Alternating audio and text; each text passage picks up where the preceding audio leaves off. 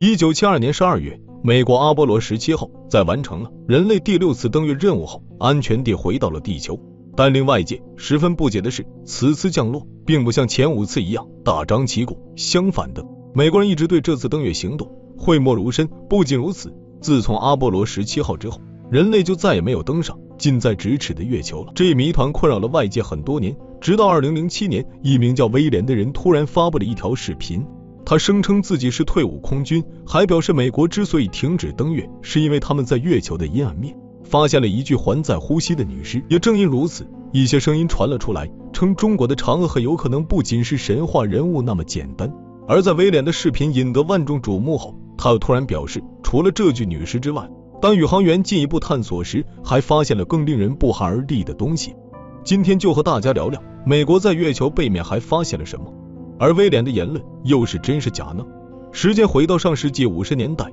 众所周知，自从第二次世界大战结束后。美苏两国为了夺得话语权，展开了旷日持久的冷战。不过，在面对冷战时，两国的做法可以说是天差地别。美国主要奉行的是中产阶级与精英基层，用经济手段与对手展开竞争；而苏联则是调动全体人民，依靠举国之力研发科学技术。这也正是在冷战前期，美国一直被对方稳压一头的原因。然而，随着1957年，苏联将人类历史上第一枚人造卫星发射上天。无疑让美国看到了动举国之力搞大工程的好处，所以在将争夺重点放在航空领域的同时，美国也开始谋划一盘大棋。为了让底层民众也能参与到局势当中，美国动用了大量的宣传力量，电视台推出了很多有关航空或科普或科幻的电视剧，书店中太空题材的文学作品也瞬间占据了最醒目的位置。而在这样的宣传之下，美国国内自然刮起了一阵全民向往太空的风潮，在所有力推的文学作品中，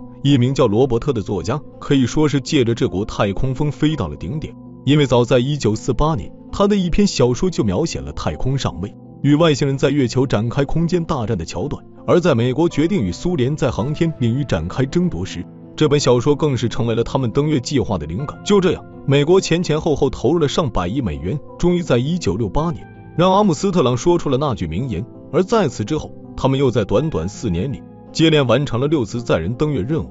然而，美国民众怎么也不会想到，阿波罗十七号竟会成为人类登月的绝唱。其实，按理说，彼时的苏联已经随着火箭大王科罗廖夫的离世，逐渐开始在航天领域趋于劣势了，所以美国完全没有停止这项计划的道理。但实际情况却是。自从阿波罗十七号回归后，美国黑不提白不提的降级了航天领域的优先性。与此同时，还撤下了大量有关航空的文艺作品。接下来发生的就是咱们一开始聊到的，别说是美国民众了，全世界都被美国的操作搞得一头雾水。直到那名叫威廉的退役空军在三十五年后发布的视频，才让外界对美国放弃登月有了别样的解读角度。当然，伴随着威廉发布的视频，大量阴谋论与猜疑也冒了出来。威廉在视频的配文中宣称，他其实是阿波罗二十号的宇航员，在机缘巧合下得到了这些绝密级的资料。在阿波罗十七号登陆月球的过程中，宇航员曾与地面短暂失去过一次联系。当然，这只是美国官方的说法，实际上这些宇航员是前往月球背面执行特殊任务去了。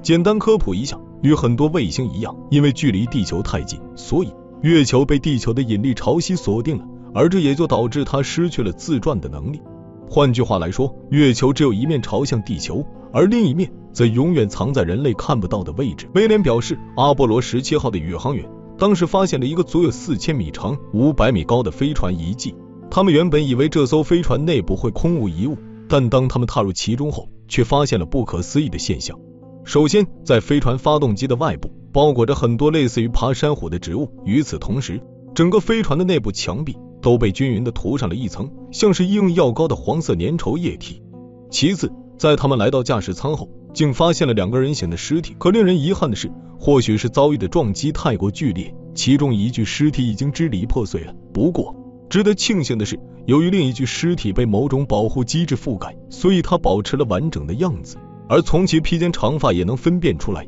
这具尸体生前很有可能是雌性。然而，就在宇航员们准备近距离接触这具尸体时，却被吓破了胆。原来，随着宇航员的近距离观察，他们发现尸体长得竟和人类大同小异。不仅如此，他们还发现这具尸体并没有死透，其胸口正有规律的一起一伏，就像是呼吸一般。与此同时，其口鼻等部位还有很多像是人类血液一般的液体。不过，女尸安详的面部表情还是让宇航员们感到不寒而栗。也正因如此，面对如此诡异的情况，宇航员们本想逃离，但考虑到这一发现十分重大，所以便忍着惧怕的内心，将尸体搬回了飞船。然而，此时出现了令宇航员们更为惊讶的事情。他们刚将尸体从座位上架起来，就发现尸体出现了肉眼可见的衰老现象。在此之前，尸体的皮肤看起来很有弹性。从年龄上判断，就和三十多岁的人类女性差不多。可就在将其搬回遗迹入口的功夫，女尸就变成了六十多岁的老妇。不仅如此，其此前所谓的生命活动也消失的无影无踪了。而根据威廉口述，那些涂抹在飞船中的黄色粘液，很有可能就是女尸能够永葆青春的秘密。就这样，在登月舱内部，宇航员对三眼女尸进行了解剖，并拍摄了威廉此次流出的视频。毫不夸张地说。解剖月球女尸的视频彻底颠覆了美国人对外星人的认知，因为或许是宇航员过于紧张，他们在解剖前竟没有发现这具女尸竟然长着三只眼睛。值得注意的是，虽然视频时间并不长，但足以让人们清晰的看到女尸的长相。当然，这也正是猜疑声最集中的区域。有人声称威廉根本就是一个通过贩卖假视频博人眼球的骗子，而他之所以发布这个视频。是因为他想通过这一女尸塑造出白种人与外星的联系，从而达到某些高高在上的目的。然而，就在这种声音被广泛接受的时候，一些美国专家的调查报告却可以说掌掴了他们。原来，根据女尸的面部特征，专家们还原了她生前的样子。他们表示，从五官的排列上来看，女尸长着较为细长的丹凤眼，眼窝并不深，鼻子也不挺拔。与此同时，其皮肤也呈现出了一种发黄的颜色。要知道，具有此种容貌特征的。一个是早已灭绝的玛雅人，一个是亚洲北部的蒙古利亚人。追根溯源地讲，这两种人都算是黄种人，而反对的声音正是基于这点，表示以盎格鲁撒克逊人为主体民族的美国，为何要找一个黄种人特征的外星人作为佐证自己高高在上的工具？就在此时，另一种截然不同的声音也传了出来，他们称这名长着三只眼睛的外星女尸，很有可能从侧面说明了中国的嫦娥很可能并不是一个神话人物。因为根据记载，嫦娥是偷吃了西王母的长生不老药，从而逃到月球，被囚于广寒宫的。所以这一女士被发现时，待在一个巨大的遗迹中，以及容貌维持多年不老，完全能对上。当然，这种言论毕竟无从考证，美国又没有专攻中国神话故事的专家，所以相比于三眼女士的来历，美国民众的热情很快就被威廉几天后发布的第二则言论吸引了。